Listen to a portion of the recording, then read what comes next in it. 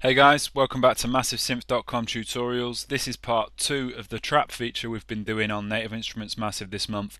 And in this tutorial I'm going to show you some drum production stuff or drum synthesis stuff with Massive. Starting off we're going to synthesize this kick drum. And then this kind of reverb sort of kick for the tops. Uh,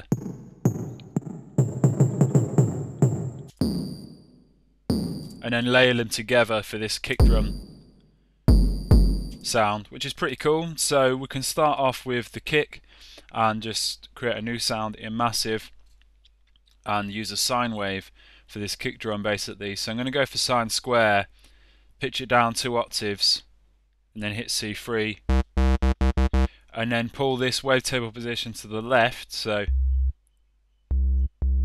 but blend a tiny amount of the square wave in just to give us a bit of a bit more character basically. So next we can just go to the voicing section make the sound monophonic and go to this oscillator section. Just check the restart via gate just in case so we just get this nice retriggering consistent sound. Take the glide off and let's go ahead and set up this pitch envelope basically to make the kick drum. So drag the crosshair of this first envelope to the first pitch modulation slot. And let's go up plus 24 so got something like that now. And let's set up this pitch envelope. So take the sustain off.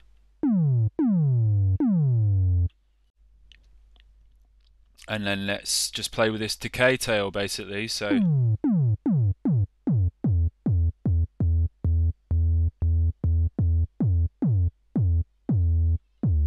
Let's have a look at the frequency analyzer.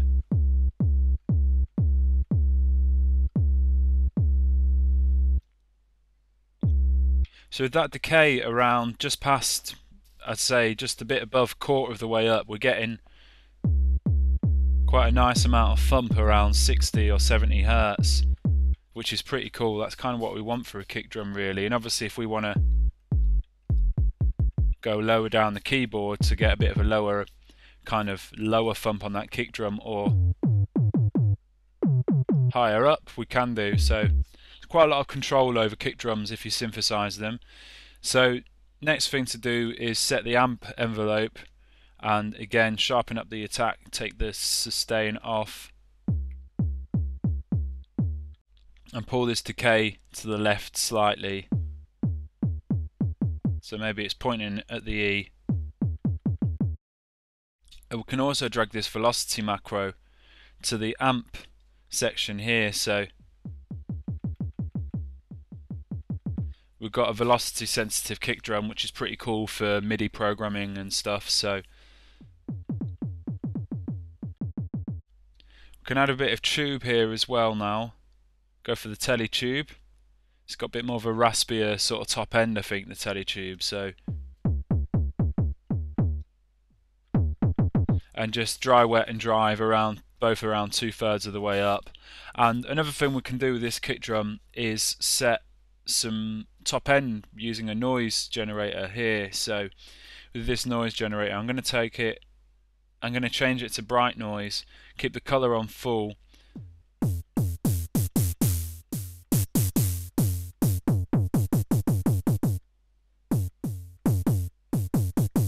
and it's quite nice to bring a little bit of that in. We could have a bit more control over it if we used an envelope basically. So using the same envelope that we're controlling the pitch of oscillator 1, control the amp of this noise.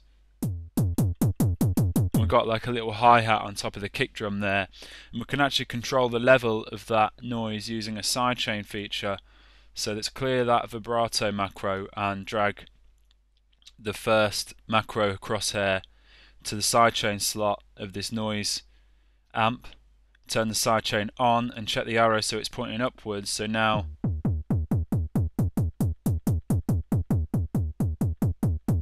we have a volume control for that hi-hat. So So that's the kick drum setup there basically. And I've got this riff I've got playing at F sharp, so a bit lower to get it a bit more sort of boomy basically. Okay. Let's move on to this kind of reverbed sort of distorted kick drum now. Okay, so let's start off by close the other kick drum and create a new sound in massive and we're going to use sine waves again or mostly sine waves so oscillator 1 going to be a sine triangle or sine sine square. It doesn't really matter basically because we're not going to be using anything other than the sine wave on these oscillators. So pull the wavetable position all the way to the left. Take the pitch down two octaves. And keep everything else the same intensity on full amp on full. No filters for this sound again so you can ignore this section in the routing and stuff. Oscillator 2 turn it on sine square or sine triangle and then just wavetable position all the way to the left and everything else the same as oscillator 1 so down two octaves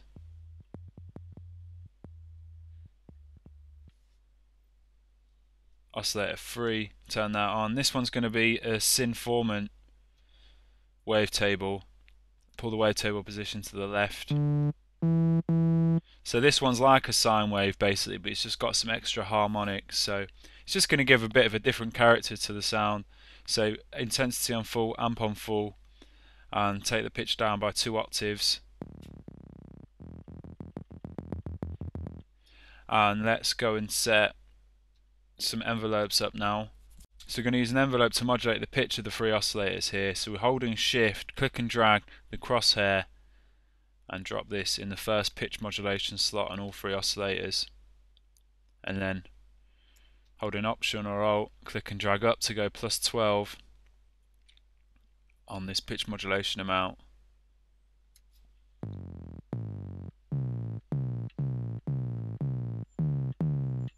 And Let's set this envelope up now. So sharp attack, attack level on full, pull the decay around to, so it's pointing it around the D, no sustain.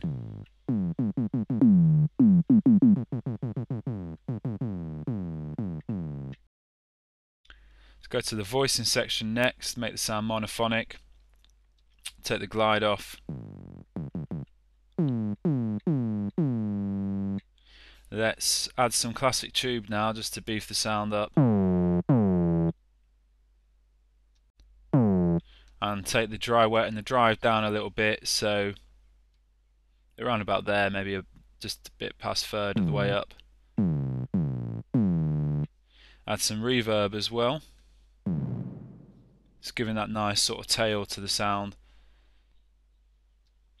And just pull the dry wet down slightly size can come down, push the density and colour up a little bit.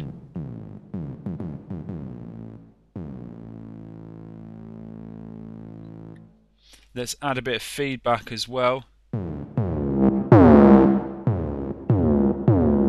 Be careful with this. I've got it about halfway, but if you notice, if you go a little bit past that and it goes a bit out of control, so just be careful with that. It's just bringing the sound out quite a bit. I think the amp envelope needs to come next, so sharpen up the attack on this, get the level on full, and sustain down to zero.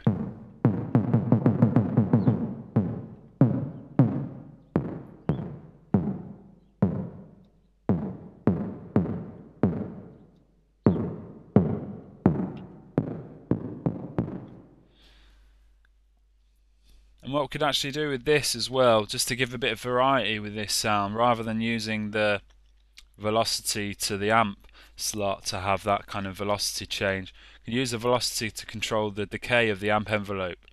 So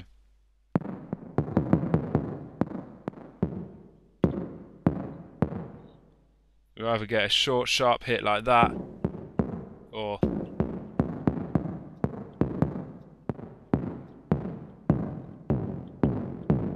kind of hard on the hard key press will give us more decay on the on the sound. So can also add some sample and hold.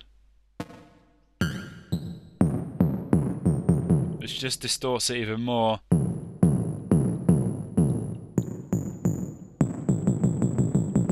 And on its own, it's not like the fullest or fattest sound ever, but layered with a kick drum, as we've got here,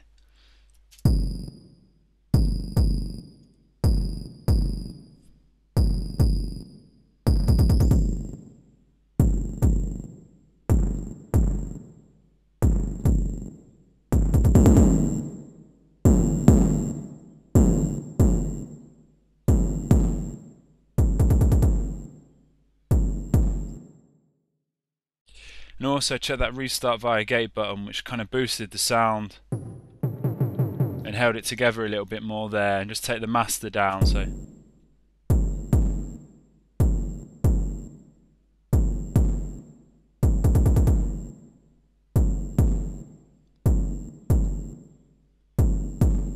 I've also got an EQ on this sound just rolling off any of that bottom end so. If you solo this sound take that off. It's just taken that that kind of weight off because we've got the weight on the kick drum, so don't really need it. But just laid with it, it kind of sounds quite nice. So.